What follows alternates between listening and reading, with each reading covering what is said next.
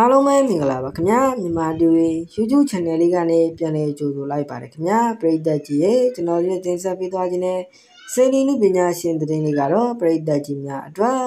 ပကိုးရေးပေးကုညီကေစရေးအတွက်ရည်တကြီးလိုအပ်နေတဲ့လှီတစည်းလူတန်းခဲ့တဲ့ကိုပင်နဲ့နိုင်ရှင်မြမိုးရဲ့အကြောင်းလေးကိုပရိသတ်ကြီးများအတွက်တင်ဆက်ပေးသွားမှာပဲဖြစ်ပါတယ်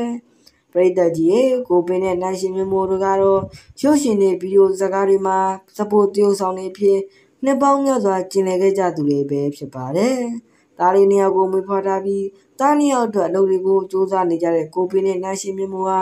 ခုဆိုရင်ငွေကြေးအဆင်ပြေလာခဲ့ပြီဖြစ်ပြီးတိုးတက်လာတဲ့အခြေအနေတစ်ခုကိုရောက်ရှိလာခဲ့ပြီပဲဖြစ်ပါတယ်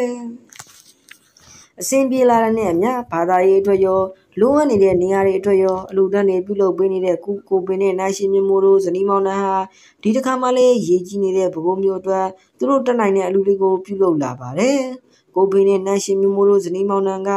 ဘကူရည်ပေးကူညီခဲ့စေရဲ့အတွက်ရည်တကြီးလိုအပ်နေတဲ့လေတစည်းလူရန်ခဲ့တယ်လို့သိရပါတယ်ခင်ဗျာ။ ကိုဗီနဲ့နိုင်ရှင်မျိုးမို့လို့ပဲတက်နိုင်တဲ့အလူရှင်တွေကပဲခူးမျိုးအတွက်အလူဝင်နဲ့အလူပစ္စည်းတွေကိုထူထမ်းပေးနေတာပေါ့ခင်ဗျာပဲခူးမျိုးကြီးလည်းအမြန်ဆုံးကြီးကြပြီးမြို့သူမြို့သားအားလုံးလည်းပေးကင်းကြပါစေခင်ဗျာ